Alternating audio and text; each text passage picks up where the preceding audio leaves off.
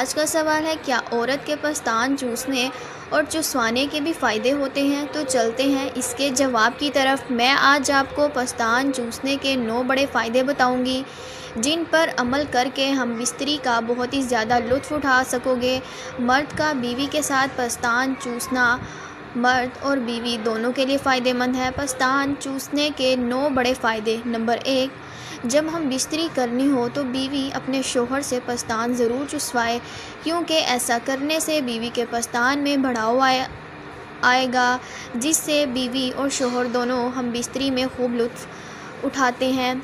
Number दो, मर्द से पस्तान चुसवाने में मर्द को बहुत ही मज़ा आता है और इसकी टाइमिंग में भी इजाफ़ा होता है।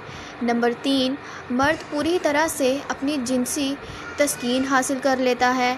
पाँच मिनट मुसलसल पस्तान चूसने से औरत तड़पने लगती है। पाँच मिनट एक बोब और पाँच मिनट दूसरा बोब चूसने से औरत बहुत ही ज़्यादा गर्म हो जाती है और अंदर डालते ही औरत जल्दी फारिग हो जाती है। नंबर चार, आम तौर पर औरत एक मिनट में बीस मरतबा सांस लेती है। जबकि बॉब्स चुसवाती है तो यही सांस की रफ़्तार साठ सेकंड पर चलती है।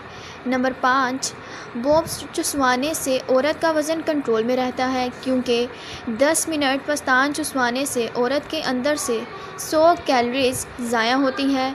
नंबर छः बॉब्स चुसवाने से आपकी जल्द और रंगत कुदरती तौर पर खूबसूरत और चमकदार हो जाती है। नंबर सात, एक तहकीक के मुताबिक पता चला है कि जो औरत पस्तान चुसवाती है, वह जवान रहती है।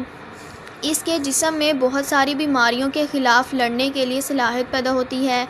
नंबर आठ, जो औरत बोब चुसवाती है, इसको कभी भी ब्रेस्ट कैंसर नहीं होगा।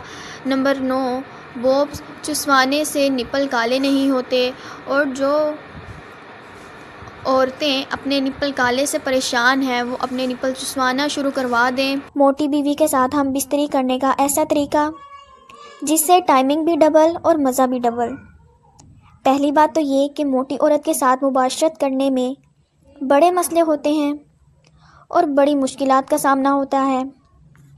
मोटे होने से ना तो औरत को मज़ा आता है और ना ही मर्द को।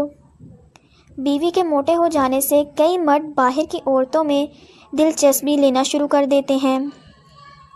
बीवी का पिछला हिस्सा ज़्यादा मोटा होने की वजह से मर्द का पूरा नफ्स औरत के अंदर जाता ही नहीं। जिससे मर्द को थोड़ा मज़ा आता है और वो बाहर दूसरी औरतों की तलाश में निकल पड़ता है। इन मुश्किलात को मद्देनज़र रखते हुए आज मैं आपको बताऊँगी कि मोटी औरत के साथ कैसे सेक्स किया जाए। पहला तरीका तो ये है कि डोगी स्टाइल, यानी घुटनों के बल, ये एक बहुत ही पुराना और क्लासिकल सेक्स करने का अंदाज़ है। तो नाजरीन, बहुत पुरानी किताबों में भी इसका ज़िक्र आता है। इस अंदाज में अंदर डालने का अलग ही मज़ा होता है। और इस तरीके से औरत बहुत ज़्यादा तड़पती है, क्योंकि इस दौरान मर्द का नफ्स उसके अंदर पूरी तरह से दाखिल हो जाता है। और इस तरीके से औरत को चाहिए कि वो जितना नीचे सर रखा जा सके, उसे उतना ही नीचे रखे और उतना ही नीचे झुके। इतना ही मर्द का नफ्स अंदर तक जाएगा। औरत नीचे होगी और मर्द इसके ऊपर लेट कर अंदर डालेगा।